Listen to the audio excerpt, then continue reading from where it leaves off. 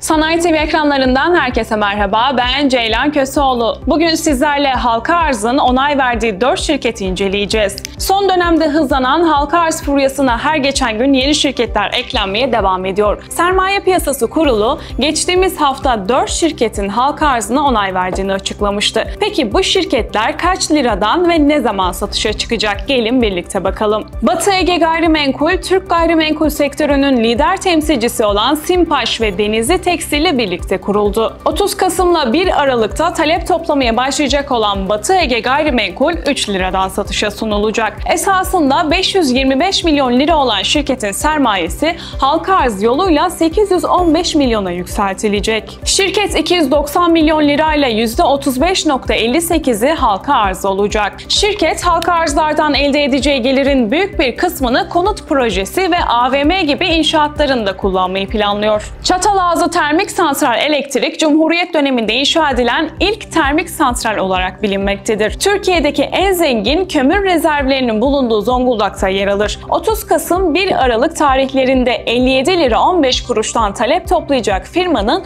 kaç lot dağıtacağıysa henüz bilinmiyor. Şirket halka arzlardan elde edeceği tüm gelirlerini borçlarını ödemede kullanacak. 22 Kasım'da halka arzı açıklanan şeker yatırımının halka arz tarihi henüz belirlenmedi. Önümüzdeki hafta talep toplaması beklenen firma hissesi 7 liradan satışa çıkacak. Herkese eşit dağıtım olacak halka arzda toplamda 52,5 milyon adet lot dağıtılacak. Halka arz gelirlerinin nerede kullanılacağı ise henüz bilinmiyor. Henüz halka arz tarihi belirlenmeyen bir diğer firma da Pasifik Teknoloji. Bilişimden siber güvenlik yazılımlarına kadar çeşitli çeşitli alanlarda hizmet veren Pasifik Teknoloji halka arza onay aldı. Yatırımcıların ilgisine sunulmaya hazırlanan şirket, cirosunu geçen yıla oranla %50 artırmak istiyor. Teknoloji şirketi olarak daha çok ARGE ve sürdürülebilir bir büyüme hedefi olan firma, halka arzdan elde ettiği gelirleri bu alanlarda kullanmak istiyor. Bu haftaki özel dosya haberimizde karşınızdaydım. Bir sonraki hafta tekrar görüşmek dileğiyle.